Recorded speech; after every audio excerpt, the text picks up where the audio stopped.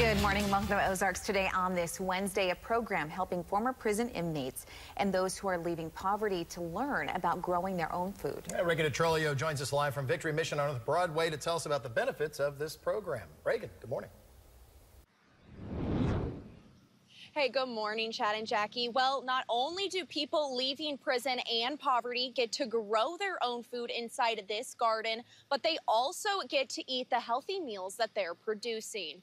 Now, this 4,000 square foot urban garden started back in 2019, and it's a partnership between Victory Mission and Springfield Community Gardens. Men inside Victory Mission's shelter and restoration program get a chance to learn life skills by growing their own meals. They provide everything from berries to peppers, squash, tomatoes, cabbage, and so much more. I talked with the garden leader who used to battle poverty and addiction himself. He says the sense of community this garden brings is unmatched.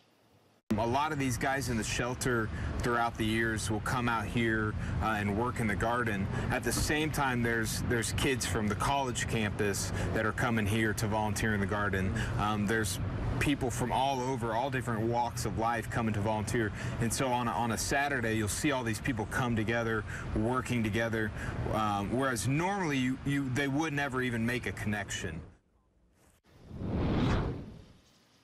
And like he just mentioned, the fourth Saturday of the fourth Saturday of every month, they have garden work days where you can come and volunteer yourself in this garden. You can even take home some of the produce that you grow. Now, if you'd like to learn how you can volunteer, we have all that info at this story on our website. But for now, live in Springfield, I'm Reagan Detrolio, KY3 News.